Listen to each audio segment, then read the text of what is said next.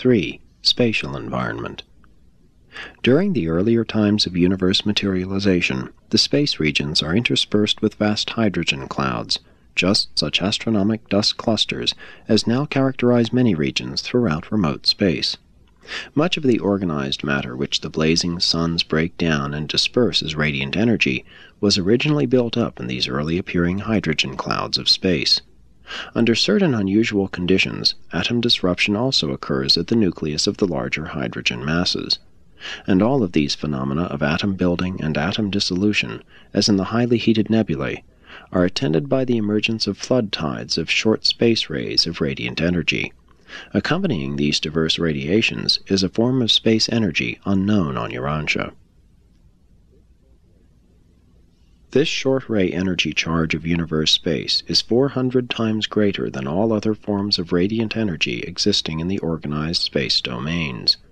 The output of short space rays, whether coming from the blazing nebulae, tense electric fields, outer space, or the vast hydrogen dust clouds, is modified qualitatively and quantitatively by fluctuations of and sudden tension changes in temperature, gravity, and electronic pressures. These eventualities in the origin of the space rays are determined by many cosmic occurrences as well as by the orbits of circulating matter, which vary from modified circles to extreme ellipses. Physical conditions may also be greatly altered because the electron's spin is sometimes in the opposite direction from that of the grosser matter behavior, even in the same physical zone. The vast hydrogen clouds are veritable cosmic chemical laboratories, harboring all phases of evolving energy and metamorphosing matter.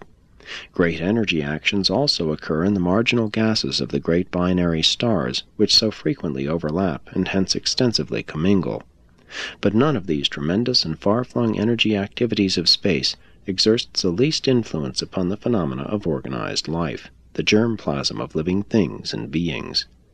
These energy conditions of space are germane to the essential environment of life establishment, but they are not effective in the subsequent modifications of the inheritance factors of the germ plasm, as are some of the longer rays of radiant energy. The implanted life of the life carriers is fully resistant to all of this amazing flood of the short space rays of universe energy.